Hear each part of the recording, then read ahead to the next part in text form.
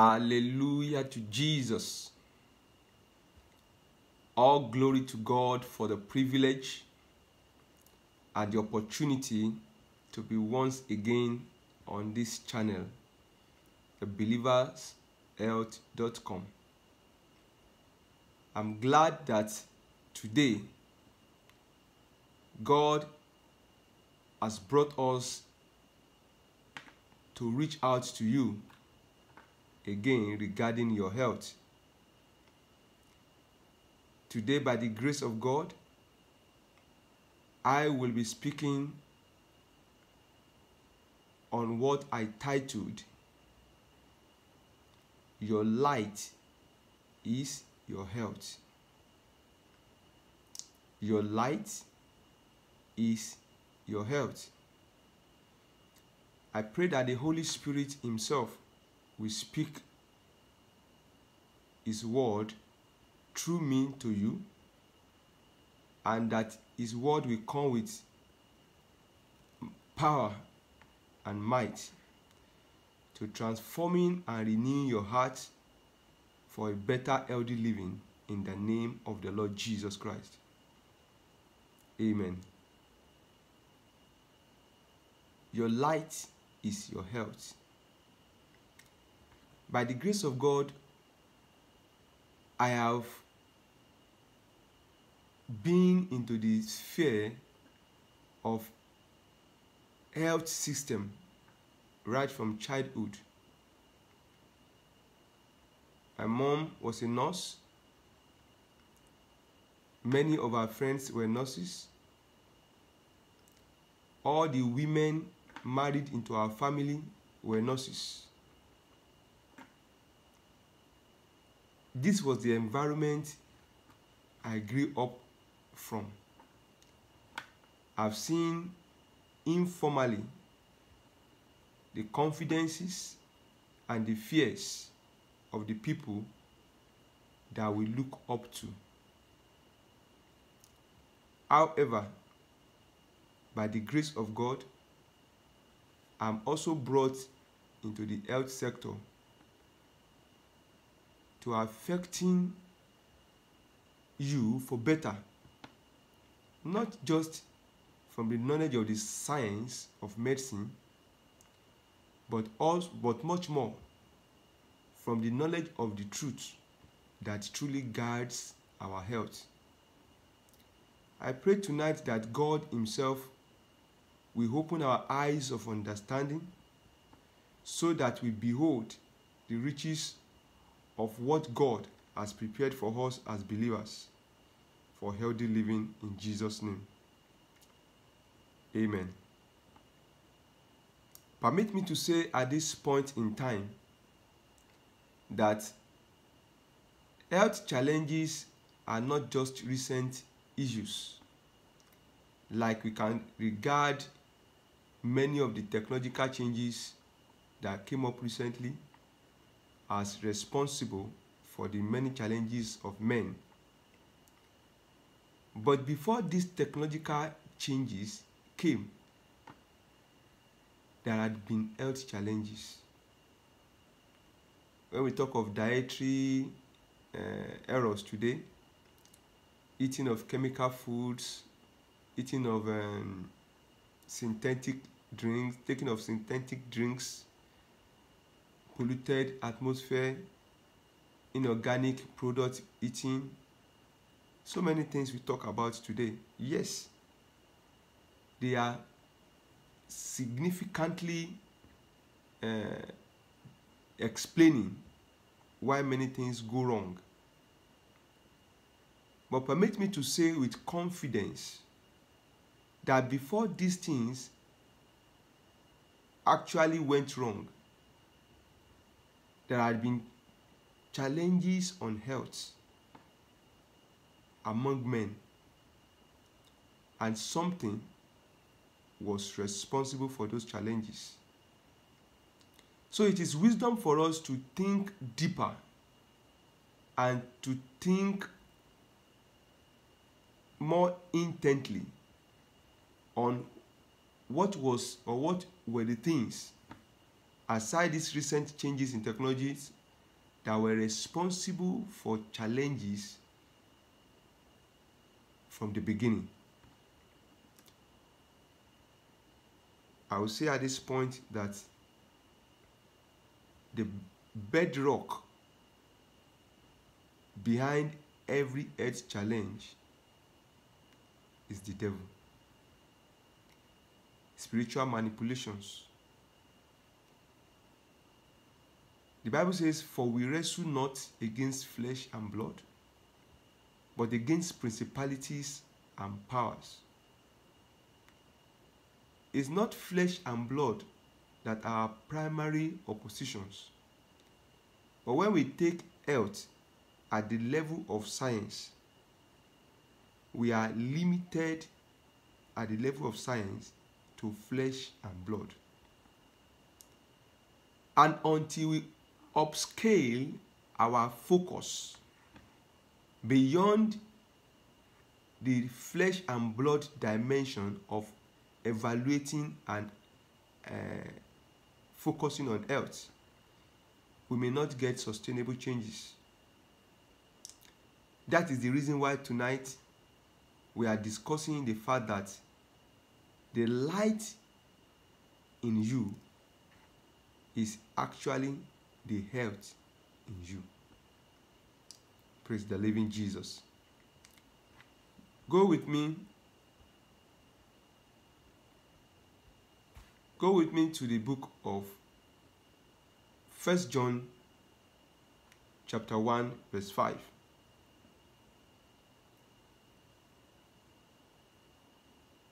This then is the message which we have heard of him and declare unto you that God is light, and in him is no darkness at all. God is light, and in him there is no darkness at all. Isaiah chapter 60, verse 1. It says, Arise, shine, for thy light is come, and the glory of the Lord is risen upon thee. What is this light we are talking about? We can say one, God is light. When your light comes, we can say God has come. Your light at every given point in time is the measure of the revelation of God that is in you. And you cannot experience God much more than the measure of the revelation of God that is at work in you. This is a basic truth that even the devil knows and jealously uses against many believers. The devil knows that I, you, or anyone cannot experience God beyond the level of revelation of God he has caught. Therefore, the Bible speaking in the book of Second Chronicle, Second Corinthians chapter 4, verse 4. It says, In whom the God of this world has blinded the minds of them which believe not. Take note, it was not blinded the eyes. When we talk of blind, we literally consider eyes being blinded. But the Bible says, the God of this world hath blinded the minds of them which believe not. Lest the light of the glorious gospel of Christ, who is the image of God, should shine upon them. It, the devil does everything possible to keep us off the access we have to the Word of God. Before we catch light, we will definitely have had access to the Word. It is the Word we have accessed, meditated upon, revealed to us that becomes light in us. And I'm telling you the truth. When light comes, health comes. When light comes, joy comes. When light comes, strength comes. When light comes, healing comes. Because when light comes, God has come. Look at it. Matthew 5, verse 16 says, Let your light so shine before men. This let is pointing to the fact that it is not all depending on God. Letting means we have a way to permitting a reality. Letting means if a reality will be in existence, we have a measure of control on how it would be in existence. Let your light, therefore, shine before men. Permit your light to shine. The only confusion in the heart of man is fueled by ignorance and fear. Of course, fear comes from ignorance. When you are ignorant of a matter or, about a matter, the devil can easily manipulate your mind based on the level of your ignorance. But the Bible says, those who do know, those who do know their God, they shall be strong and they will do exploits. If you are strong, it means you are healthy. If you are sick, you are weak. Strength is a function of the operations within us. The mentality of a believer at any point in time should be as fueled by the revelation of God. The revelation of God, as it affects us regarding our health at this point, is the fact that one, He is the Lord that healeth us. Two, with Him, all things are possible. It may be impossible with science, with men, but there is no situation that you present to God and say, wow, this is much more than what I can address. No way. The picture in the pool of Bethesda alone is enough to tell us that if any ailment is brought to Christ, as it was presented before the pool of Beth- I mean at the pool of Bethesda, if every ailment that enter with man into that pool is healed, then much more is what we have access to right now in Christ through the redemption work perfected on the cross of Calvary. The light of God in you is what gives you control over the manipulations, over the threats, over the seeming anxieties that the devil wants to impose on you because of whatever health challenge one may be going through. Don't forget that as a believer, the Bible says, Many are the afflictions of the righteous. We are permitted, it's possible, it's allowed to be afflicted. But the Bible says, The Lord delivered them out of them all. I read a place in Isaiah that helps me a lot that even the affliction that a righteous goes through is oftentimes a refining process, a remolding process, a, a means of you knowing the more about God. Because the Bible says, Peter, the devil sought to sift you. Jesus was speaking. But I have prayed for you that your faith faileth not. And remember, when thou art converted, strengthen thy brethren.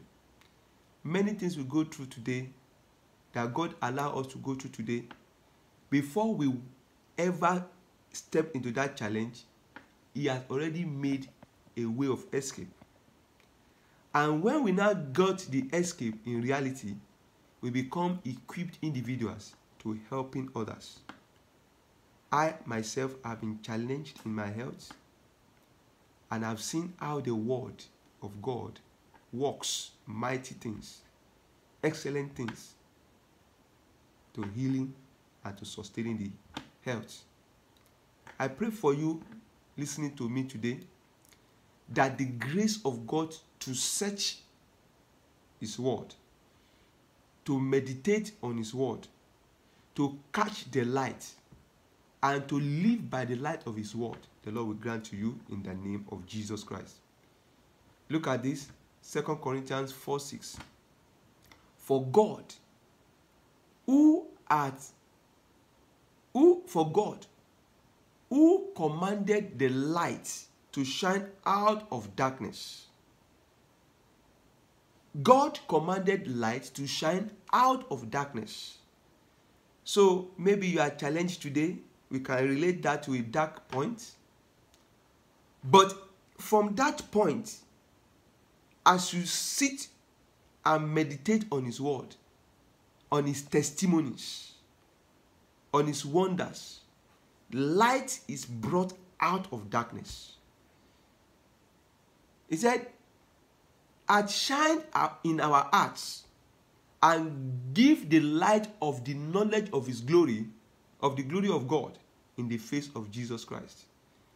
Light is commanded to come forth out of darkness. That state of health challenge you have is a state of darkness. Agreed.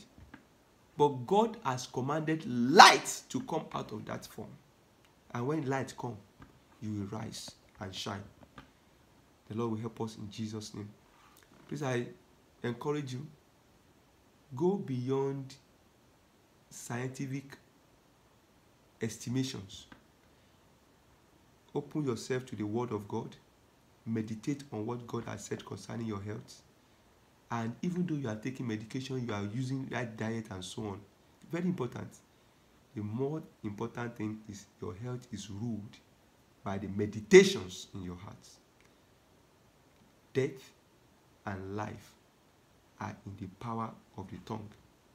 And those who love it will eat the fruit thereof. Don't forget, out of the mouth, out of the heart, hmm, the mouth speaketh. If death and life is in the power of the tongue, and a man speaks from the abundance of the heart, it means that what happens in your heart, the meditations in your heart, in your mind, are the things that inform what you speak. And what you speak will either lead to health or sickness, death or life. The Lord will help us to construct wisdom from this and live elderly in Jesus' name. Amen. God bless you as you meditate on His word and catch the light of His word in Jesus' name. Amen.